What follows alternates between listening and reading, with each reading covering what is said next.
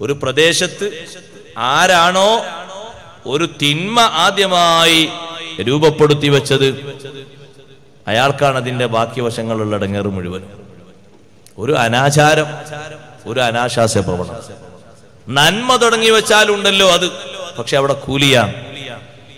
ചെയ്തവരുടെ കൂലി കുറയാതെ തുടങ്ങി വെച്ച ആൾക്ക് അള്ളാഹുത്താല കൂലി അങ്ങനെ കൂട്ടിക്കൊണ്ടേ കൊടുക്കും അലഹി വസല്ലമ തങ്ങൾ അവിടുത്തെ സമീപത്ത് പാവപ്പെട്ട സ്വഹാബിമാരായ പാവപ്പെട്ട ആളുകൾ വസ്ത്രങ്ങളൊക്കെ കീറിപ്പറിഞ്ഞ് പല ഭാഗത്ത് ഓട്ട കാണുന്ന ആളുകൾ വന്നപ്പോ മേലൊന്നും അവർ ധരിച്ചിട്ടില്ല താഴെ ധരിച്ച വസ്ത്രം തന്നെ കീറിയിട്ടുണ്ട് ചെളിയായിട്ടുണ്ട്.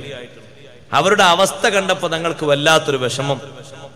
സ്വഹാബത്ത് പല ഭാഗത്തും പലരും പലതും സംഘടിപ്പിച്ചു. ഒരു കൂട്ടം സ്വഹാബ വസ്ത്രം കൊണ്ടുവന്നു. വേറെ കൂട്ടം ആളുകൾ ചെരുപ്പ് കൊണ്ടുവന്നു. വേറൊരു കൂട്ടം ആളുകൾ ഭക്ഷ്യവസ്തുക്കൾ കൊണ്ടുവന്നു. ഗോതമ്പും മറ്റൊക്കെ ആയിട്ട്. ഇങ്ങനെ പലതും പലതും കൊണ്ടുവന്ന് തങ്ങളെ മുന്നിൽ ഇങ്ങനെ കൂട്ടി കൂമ്പാരമാക്കി വെച്ചപ്പോ തങ്ങൾ പറഞ്ഞു മൻ സന്ന ഫിൽ ഇസ്ലാമി സുന്നതൻ ഹസനതൻ ഫലഹു അജ്റുഹാ വ അജ്റു മൻ ബിഹാ. ഇതൊരു നല്ല മാതൃകയാണ്. ഈ മാതൃക നിങ്ങൾ ചെയ്തിട്ട് കിയാമത്ത് നാൾ വരെ ആരിങ്ങനെ സാമൂഹികമായി അനുകരിച്ച് ചെയ്യുന്നുണ്ടോ? സഹായം ചെയ്യുന്നുണ്ടോ? അവരുടെയൊക്കെ കൂലിയിൽ നിന്ന് ഒരു തോത് നിങ്ങൾക്ക് ലഭിക്കും. കാരണം നിങ്ങളാണല്ലോ ഇതിന്റെ തുടക്കക്കാർ. ഇവർക്ക് എന്തെങ്കിലുമൊക്കെ കൊടുക്കണം എന്ന് പറഞ്ഞിട്ട് സ്വഹാബത്ത് പോയത്. പക്ഷെ അവർ പറഞ്ഞു അവർക്കെല്ലാം കൂടി കൊടുക്കണം. കാരണം ഒന്നുമില്ല. വാഹനമില്ല വസ്ത്രവുമില്ല. ഭക്ഷ്യവസ്തുക്കളുമില്ല. ഒന്നുമില്ലാത്ത പാവങ്ങളാണ്. അപ്പൊ വിവിധ രൂപത്തിലാ ശേഖരിച്ചത്. എന്തെങ്കിലും അവർക്ക് കൊടുക്കണം എന്നുള്ളതിൽക്കാണ് തങ്ങൾ സ്വഹാബത്തിലേക്ക് നോക്കിയത് എന്ന് സ്വഹാബിമാർക്കറിയാം. കൊണ്ടുവന്നപ്പോ തങ്ങൾ അത് സ്വീകരിക്കുകയും സമ്മതിക്കുകയും പ്രശംസിക്കുകയും അതിനുവേണ്ടി ഇങ്ങനെ ഒരു മാതൃക കാണിച്ചതിന് തങ്ങൾ പ്രത്യേകം പറയുകയും ചെയ്തു. നിങ്ങൾക്ക് ഇപ്പോൾ മാത്രമല്ല കൂലി ഇത് അനുകരിച്ച് കിയാമത്ത് നാൾ വരെ ആര് ചെയ്യുന്നോ അതിനൊക്കെ കിട്ടും. അങ്ങനല്ലേ നാട്ടിൽ നടക്കുന്ന ഒരു സന്നദ്ധ സേവകന്മാരുടെ പ്രവർത്തനം. ഒരു കുടുംബത്തെ സഹായിക്കാൻ. റമദാനും പെരുന്നാളൊക്കെ വരുന്നപ്പോ കുടുംബത്തിന് വേണ്ടതൊക്കെ കൊടുക്കണം. അതിന് അരി മാത്രല്ല. അത് മാത്രം കൊടുത്താൽ തികയൂല. കാരണം അരി മാത്രം ഭക്ഷിക്കാൻ പറ്റൂല. അതിന് കൂട്ടുസാധനങ്ങൾ വേണം. പെരുന്നാളാകുമ്പോൾ വസ്ത്രവും വേണം.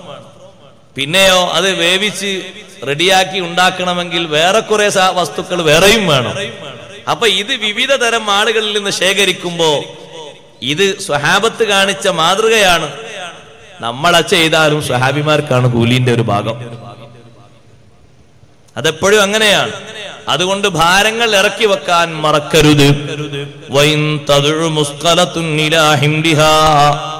പാപ്പ ഭാരം ഭാരം നിറഞ്ഞ തൂങ്ങിയ ശരീരം നഫ്സുൻ വൈകല്യങ്ങൾ കൊണ്ട് ഖനം ബാധിച്ച ഒരു ശരീരം വിളിച്ചാൽ ഇലാഹിംലിഹ ഭാരങ്ങൾ ഏറ്റെടുക്കുന്നതിലേക്ക് ലാ യുഹ്മൽ മിൻഹു ആരും തന്നെ ഏറ്റെടുക്കാൻ കൂട്ടാക്കുകയില്ല. ആരും അതിന് സന്നദ്ധത പ്രകടിപ്പിച്ചു വരികയില്ല. വലൗക്കാനതാ കുർബാ അത് കുടുംബക്കാരാണെങ്കിലും ശരി. രണ്ട് വിഷയങ്ങളാണ് ഇവിടെ പറഞ്ഞ ഒന്ന് അള്ളാഹുവിന്റെ നീതിയാണ്. അള്ളാന്റെ വിധിയിൽ അള്ളാഹു തലാക്ക് വലിയ നീതിയുണ്ട്. ചെയ്യാത്ത കുറ്റത്തിന് ആരെയും ശിക്ഷിക്കൂല. അതാണ് ആയത്തിന്റെ ശരിക്കുള്ള അർത്ഥം. വലാ തസിറു. മറ്റൊന്ന് അന്നത്തെ ദിവസം സഹായത്തിന് തന്റെ ഭാരങ്ങൾ കുറച്ചു കിട്ടാൻ സഹായിക്കാൻ ആരെ വിളിച്ചാലും വരികയില്ല. അതടുത്ത ബന്ധുക്കളാണെങ്കിലും ശരി. അവിടെ നിങ്ങൾ നോക്കി ബഹുമാനപ്പെട്ട ഇക്രിമറലി അള്ളാഹുനുവിന്റെ തഫ്സീർ കാണാം. മഹാനവറുകൾ പറഞ്ഞു വിളിക്കുന്ന ആൾ ഈ വിളിക്കുന്ന ആൾ ഭാരം ഏറ്റെടുക്കാൻ വേണ്ടി വിളിക്കുന്നത് ജാറു അയൽവാസിയായിരിക്കും ഒരുപക്ഷേ. അയൽവാസി തന്റെ അയൽക്കാരനെ വിളിച്ചിട്ട് ആ അയൽക്കാരനെ പിടിച്ചു വെക്കുന്നു സിറാത്തിന്റെ അടുത്ത്. എന്നിട്ട് അള്ളാഹുവിനോട് പറയുന്നു യാ റബ്ബി സൽഹാദാ ഇതെന്റെ അയൽക്കാരനാണ്. അയൽവാസിയോട് നീ ഒന്ന് ചോദിക്ക് റബ്ബേ ലിമകാന യുഗലഖു ബാബുഹൂദൂനീ അദ്ദേഹത്തിന്റെ കവാടം ഞാൻ ചെല്ലുമ്പോൾ കൊട്ടിയടക്കുന്നത് പതിവാണ്. എന്റെ മുറാദൊന്നും ഹാസിലാക്കി തരാറില്ല. കഴിയാത്തത് കൊണ്ടല്ല കഴിയോ ഉണ്ടായിട്ടുണ്ട്. പക്ഷേ ഞാൻ പറഞ്ഞാൽ ഒക്കത്തിനും കാരണം പറയും. എന്നെ തട്ടിമാറ്റും. അതെന്തേന്ന് നീയൊന്ന് ചോദിക്കണം. അയൽവാസി അയൽവാസിയെ പിടികൂടുന്ന അങ്ങനെ ഒരു സന്ദർഭം ഉണ്ടെന്ന് ഹബീബ് റസൂലുള്ളാഹി സ്വല്ലല്ലാഹു അലൈഹി വസല്ലം പറഞ്ഞിട്ടുണ്ട്. ഹക്ക് വീട്ടാത്ത രൂപത്തിലാണെങ്കിൽ പിടികൂടും. പിടികൂടിയിട്ട് നീ ചോദിക്ക റബ്ബേ ഞാൻ അത് ചോദിച്ചിട്ട് എന്തേ തരാതിരുന്നത്? അയാളെ വീട്ടിൽ ഉണ്ടായിരുന്നു ഭാര്യ കൊടുക്കാൻ വേണ്ടി ഉദ്ദേശിച്ചപ്പോ ഭർത്താവ് സംശയം പ്രകടിപ്പിച്ചു. അല്ലെങ്കിൽ ഭർത്താവ് കൊടുക്കാൻ വേണ്ടി പറഞ്ഞപ്പോ ഭാര്യ സംശയം പ്രകടിപ്പിച്ചു. അതിപ്പോ കൊടുക്കണ്ടെന്ന് വെച്ചു. നിങ്ങളാ പിന്നെ ചുറ്റിക ഒന്ന് തരും. ഒരാണി അടിക്കാനാണ് അപ്പോ പരതി നോക്കിയിട്ട് അത് കിട്ടി. കിട്ടിയപ്പോ ഒരാൾ പറഞ്ഞു ഭാര്യ ഭർത്താവ് ഒരാൾ പറഞ്ഞു അത് കഴിഞ്ഞ ആഴ്ചയിലെ കൊണ്ടുവന്നത്? നമ്മളെ പഴയ ചുറ്റികന്നെ പൊട്ടിപ്പോയതല്ലേ? എല്ലാം പോകൂലേ? എല്ലാം ഏതായാലും തീരൂലേ? അതുകൊണ്ട് ഇതും പൊട്ടാൻ സാധ്യത ഉണ്ട് അതുകൊണ്ട് കൊടുക്കണ്ട. അപ്പൊ ഇനി എന്ത് പറയും ചോദിച്ച ആളോട്? അതിപ്പോ ചെറിയൊരു ആവശ്യം ഇവിടെ ഉണ്ടത് കഴിഞ്ഞാൽ അങ്ങോട്ട് കൊടുത്തേക്കാം. പിന്നെ അത് കൊടുക്കൂല. ആ ചട്ടി ഒന്ന് നോക്കട്ടെ. ചെറിയൊരു അപ്പം ചുടാനാ. ഇവിടുത്തെ ചട്ടി പെട്ടെന്ന് ചൂട് കൂടിയിട്ട് പൊട്ടിപ്പോയി. നിങ്ങളെ ചട്ടി ഒന്ന് നോക്കട്ടെ. ചട്ടി ഇവിടെ ആവശ്യമുണ്ട് അവിടെ ആവശ്യം ഉണ്ടെങ്കിലും തൽക്കാലം നിർത്തി വെച്ച് അയൽവാസി ചോദിക്കുമ്പോൾ കൊടുക്കണം എന്നാ കണക്ക്. പക്ഷെ കാരണങ്ങൾ പറഞ്ഞ് പിന്മാറാനുള്ളതാണ് പറയുമ്പോൾ തന്നെ മനസ്സിലാകും. അപ്പൊ പിന്നെ ചോദിക്കണ്ടെന്ന് ഇത് ചോദിക്കാനും വരൂല. അങ്ങനെ ഓരോന്നും. പരോപകാരത്തിനുള്ള വസ്തുക്കളൊക്കെ ഒറ്റൊന്നും തടയാൻ പാടില്ല. അതിലേറ്റവും പ്രധാനപ്പെട്ടതാണ് നമ്മൾ ഉപയോഗിക്കുന്ന ഉപയോഗ സാധനങ്ങൾ. വായ്പയായിട്ട് കൊടുക്കാൻ വേണ്ടി ചോദിക്കുമ്പോൾ കൊടുക്കാൻ കഴിവുണ്ടായിട്ടും കൊടുത്തില്ല. നിങ്ങളെ വാഹനം തരുമോ കാറ്. അപ്പൊക്കെ തീരെ സുഖമില്ലെന്ന്? ഹോസ്പിറ്റലിൽ കൊണ്ടുപോകാനാണ്.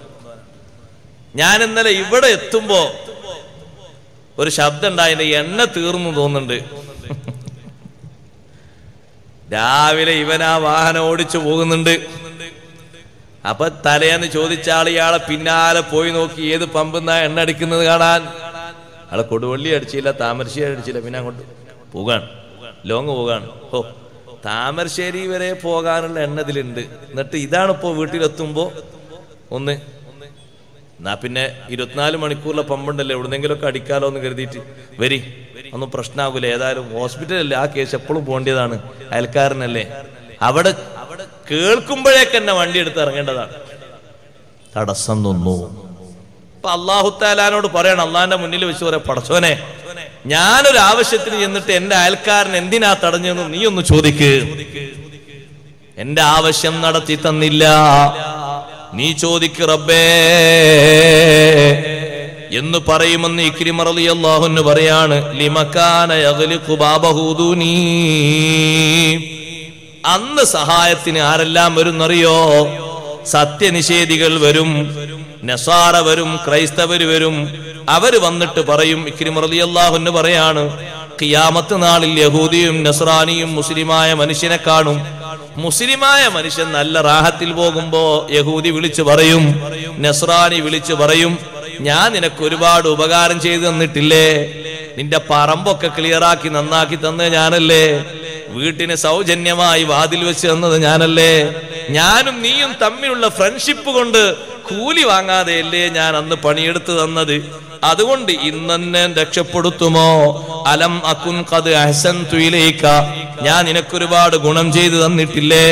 അപ്പൊ മുസ്ലിമായ അവന്റെ കൂട്ടുകാരൻ പറയും ബല അതേ. എന്നാൽ എനിക്കൊരു ഉപകാരം ചെയ്യുമോ? ഞാനിപ്പ പാപഭാരം കൊണ്ട് തൂങ്ങി നിൽക്കുകയാണ്. ഒന്ന് കുറച്ച് എനിക്കുള്ള ശിക്ഷയൊന്ന് ലഘൂകരിക്കാൻ വേണ്ടി നീ അള്ളാഹുവിനോടൊന്ന് പ്രാർത്ഥിക്കുമോ? ഇത് പറയും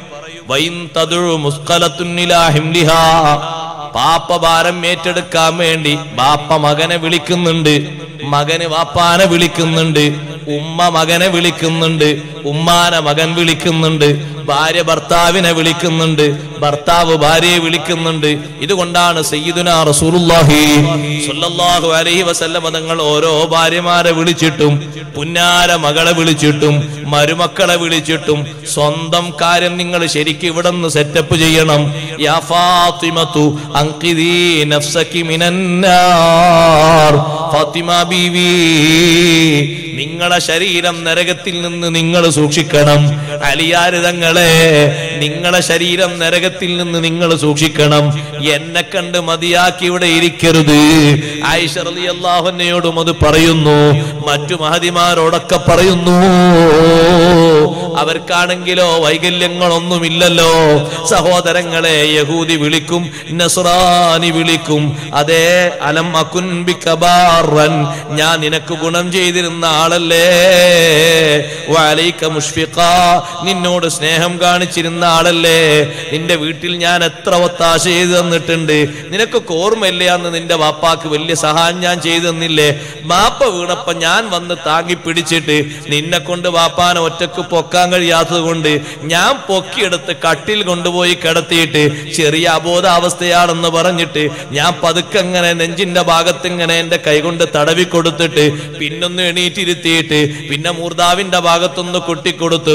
പതുക്കെ വാപ്പ കണ്ണു തുറന്നപ്പോ ഞാൻ വെള്ളം കൊടുത്ത് ആശ്വസിപ്പിച്ചപ്പോ നീ പറഞ്ഞു നീ ഈ നേരത്ത് വന്നില്ലെങ്കിൽ എന്റെ വാപ്പ മരിച്ചു പോകുമായിരുന്നു. കാരണം വാപ്പാന്റെ ശരീരം എനിക്ക് താങ്ങാവുന്നതിൽ അപ്പുറമാണ് അത് നീ അന്ന് പറഞ്ഞത് ഓർക്കുന്നുണ്ടോ?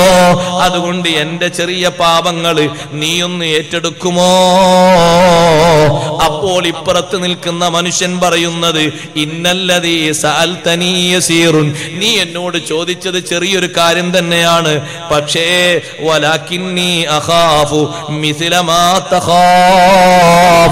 നീ പേടിക്കുന്നത് ഞാനും പേടിക്കുന്നു. നീ ഭയക്കുന്നത് ഞാനും ഭയക്കുന്നു. അതുകൊണ്ട് ഏറ്റെടുക്കാൻ പറയരുത്. ഉമ്മ വിളിക്കുന്നു മകനെ. മകനെ വിളിക്കുന്നു മാതാവ് യാ വലതി എന്റെ മോനെ അലം യകുൻ ബത്നി ആ എന്റെ പള്ള നിനക്കുള്ള പാത്രമായി ഒമ്പത് മാസം നീ കിടന്നില്ലേ മോനെ? അലമ്യക്കുൻ സദീല സിഖാ എന്റെ മുല നിനക്കൊരു പാനപാത്രമായി മാറിയില്ലേ മോനെ? അലമ്യക്കുൻ ഹിജിരിയിലൊക്കെ ഹിജിരീലക വിതാ എന്റെ മടിത്തട്ട് നിനക്കുള്ള വിരിപ്പായിരുന്നില്ലേ മോനെ? അതുകൊണ്ട് മോനെ ഉമ്മാനെ ഒന്ന് കനിയണം. മകൻ പറയും ബലായ ഉമ്മ. പറഞ്ഞതൊക്കെ ശരിയാണ്. എന്നാ മോനെ മക്കളുടെ അമൽ കണ്ട് മാത്രം നിൽക്കരുത് മാതാക്കളെ. മക്കളുടെ അമൽ മാത്രം കണ്ട് നിൽക്കരുത്. സ്വന്തത്തിൽ ഓരോരുത്തരും ശ്രദ്ധിക്കണം. സ്വന്തത്തിൽ ഓരോരുത്തരും ആലോചിക്കണം. എന്റെ പാപങ്ങൾ എന്നെ ഭാരമാക്കിയിട്ടുണ്ട്. ഫഹ്മൽ അന്നീ മിൻഹാ വാഹിദാ. ഒറ്റ തെറ്റുമോനെ നീ ഒന്ന് ഏറ്റെടുക്കണം. രണ്ടാമത്തെ വേണ്ട. എന്നിൽ നിന്ന് ഒന്ന് ഒരു ദമ്പ് മാത്രം നീ ഒന്ന് ഏറ്റെടുക്കുമോനെ മകൻ പറയും ഇലൈക അന്നീയ ഉമ്മ. അത് മാത്രം പറയരുത്. അത് മാത്രം പറയരുത്. നിങ്ങൾ എന്റെ ഉമ്മയാണ്. എനിക്ക് വേണ്ടതൊക്കെ നിങ്ങൾ ചെയ്തൊന്ന് ശരിയാണ്. ഞാൻ അതൊന്നും നിഷേധിക്കുന്നില്ല. പക്ഷേ ആ ഒരു തെറ്റ് ഏറ്റെടുക്കാൻ എന്നോട് പറയരുത്.